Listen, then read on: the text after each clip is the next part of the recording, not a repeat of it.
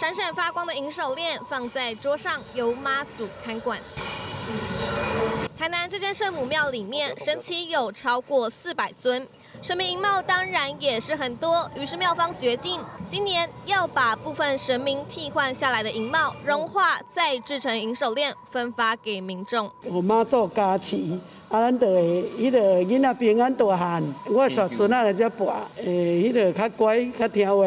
把它那个有在回收、再利用，那有个新的价值跑出来，可能拍不进来吧，人人很多。小年夜当天，总共会发放五百条银手链，民众只要到庙里排队把杯，得到一个醒杯就能领取。家长会很喜欢，就是给小朋友保平安这样子。很有意义，给自己的小孩带着很心安。早年咧五点下下晡五点开始，啊就来排队，主要是要小朋友保平安。啊，多这概念，以后要搁有这个活动，可能要搁几十年后的代志啊！抢不到银链也不用气馁，因为有连锁披萨店跟台中公庙联名推出活动。二月十三号开始，民众只要订购限定口味的披萨，就有机会获得招财必胜金。